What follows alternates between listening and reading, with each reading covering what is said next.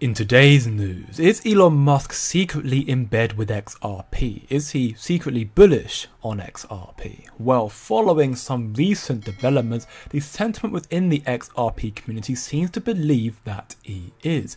As a result, some older sources have surfaced which seems very coincidental to me.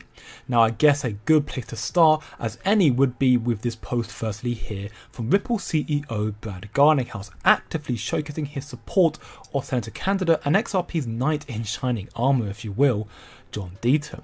Deaton has been a relentless advocate for the XRP army, the XRP family, and the entire crypto industry. Meanwhile, his competitor, Senator Elizabeth Warren, has tried everything in her power to destroy this industry, spreading misinformation and lies about crypto. Obviously, Brad Garlinghouse enthusiastically endorses John Deaton in his run for Senate, and seemingly he is not the only one. This article here from FX Empire titled XRP News Today SEC appeal looms as Elon Musk and crypto politics drive XRP action. One of the key points here is Elon Musk's endorsement of Deaton, thus boosting XRP sentiment. Effectively, this article highlights Coinbase CEO Brian Armstrong stating his agreement to Meta lawman here that Massachusetts residents should vote for John Deaton, especially if you are holding crypto. But you should do so in general because Elizabeth Warren is anti freedom, thinks the government should run all financial services and has done enormous harm to this country. And simply put, Elon Musk reported saying yes in agreement, ultimately admitting that he also endorses John Deaton. Now, that is just one recent example of Elon Musk seemingly being bullish on XRP, which is a weak one, I know, but this one right here seems much more convincing to me, comedically enough. A member of the audience at the town hall discussion in Pittsburgh actually asked Elon Musk about his opinion on XRP. Take a listen. Given how punitive the SEC has been towards crypto under this administration, do you envision the XRP ledger being incorporated into the financial institutions in the future?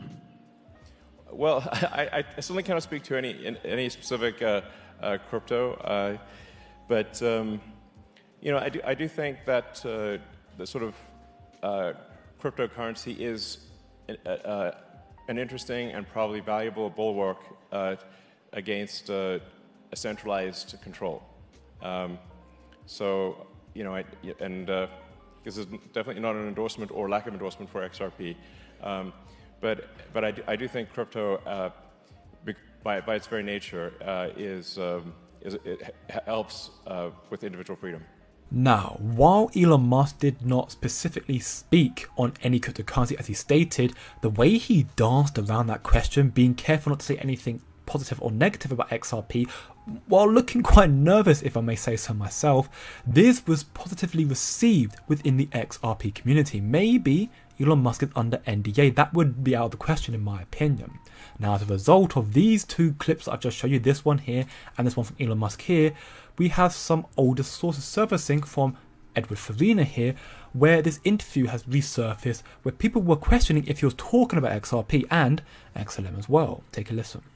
Essentially, if, if, if done right, the X would be would, would serve people's financial needs to such a degree that over time it would become, I don't know, maybe half of the global financial system. Wow. Or some big number. Um, I'm not sure what the number is, but pretty big. Um, so it, it, would be by far the biggest sort of financial institution. but, but like I said, not, not, not, really in the way that people are used to thinking about uh, banks. Mm-hmm. Just, um, just the most efficient database for the thing that is money. Um, they said like least amount of fraud, uh, everything's real time, um, and if it involves money in any way, it can be dealt with seamlessly on one one location. Now, it is more than likely that he was actually just talking about X, the Twitter platform that he bought and renamed himself. But you have to ask yourself, after listening to this video, which you should have just done now, the similarities between what Elon Musk is talking about and what Ripple is trying to achieve with XRP is, you know, very similar, if almost too similar if you ask me. One element of this would be in the tokenization market, where we have just seen a massive announcement that Ripple is going to be tapping into a $109 trillion market. We will get into that in a moment, but ultimately, to me, the Elon Musk rabbit hole can go so much deeper. I'm pretty sure I've seen proof in the past of crypto wallets believed to be Elon Musk's crypto wallets that were buying more and more XRP.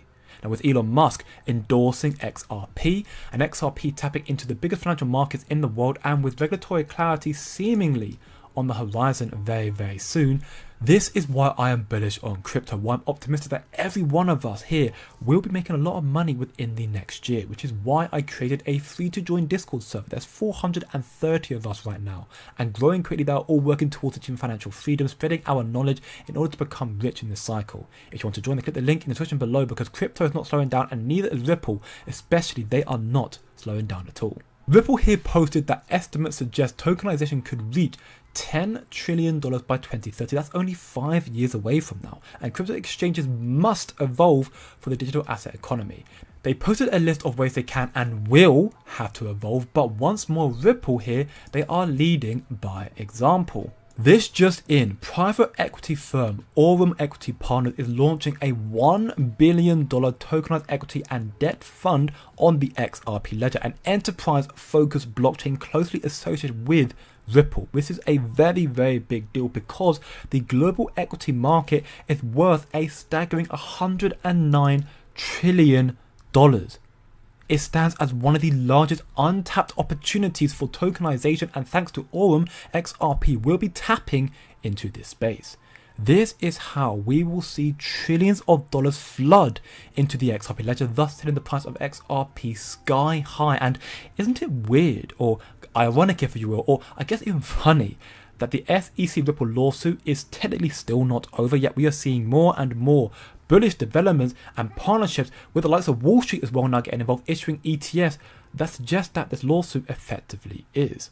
As Fox business journalist Eleanor Terrett posted recently, the SEC has just included cryptocurrencies in its list of 2025 exam priorities, even though there are still no major crypto participants that have registered with their commission. Right now, the only asset that seemingly could interact with the SEC is Bitcoin and Ethereum due to their successful ETF filings, but maybe XRP is also in contention. SEC Chair Gary Gensler himself recently appeared on the UK Bloomberg, bless him, where the TV anchor said what we've all been wanting to say to him out loud for years now, teasing him and laughing at him for his rigid and uptight stance on crypto and that his dismissal seemingly is imminent. I found it hilarious. Take a listen.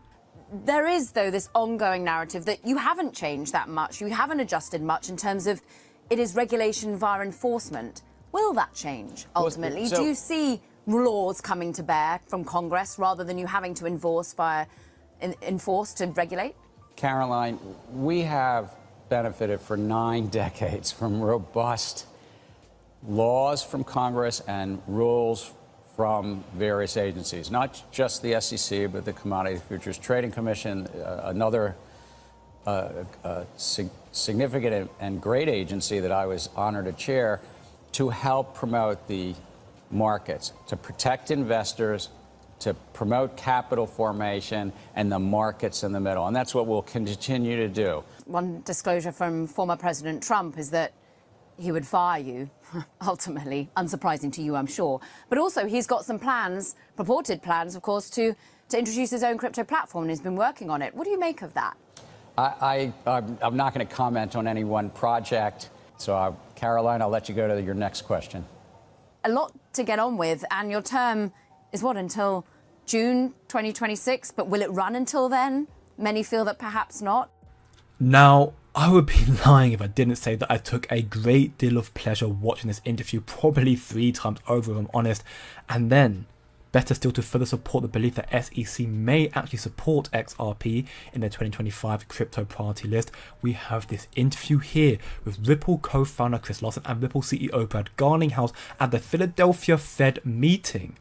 A very big meeting calling out Elizabeth Warren and Gary Gensler and even stated that the good news is I think we're on the twilight of Gary Gensler's reign of terror, so it is finally almost over. I think the approach that Gary Gensler um, pretty much directed, you know, let's just call it uh, who was behind it. Uh, Senator Warren, I think, was on a mission. She's literally called this the war on crypto. Uh, was on a mission pretty much to destroy the industry, uh, to hobble the U.S. industry uh, by using uh, regulation by enforcement rather than creating clear rules of the road. And what the industry has always asked for is like just just make the rules clear. Just tell us exactly what those rules are.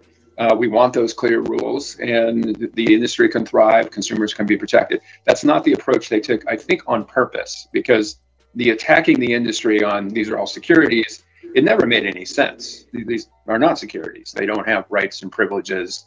Uh, the developing teams that made them don't have obligations. It just it, it's it fits the commodity model fundamentally, and I think they know that. But again, I think it was an attack on the industry to hobble it. Now, what was the effect of that? It just empowered a bunch of sketchier, uh, you know, overseas firms like FTX, which turned out to be a total disaster. So net on net, you didn't protect consumers. You hobbled the U.S. You empowered, you know, in- industries in Singapore, uh, in in London. You didn't create any jobs in Ohio, for example. So it didn't make any sense. And, uh, you know, the good news is I think we're at the twilight of Gary Gensler's reign of terror. It's just about over. And I think whoever wins this election, it's going to be a fundamentally different thing. This industry can change very, very quickly. And Gary Gensler's dismissal, I pray it be quick and seamless, just like XRP. The bull run is close, in my opinion, very close. The election is less than two weeks away now, so ultimately buckle up, do your own research, come chill chat and learn more in the physical server. Get the links below. Remember, don't look short term, think long term, and I'll see you in the next one.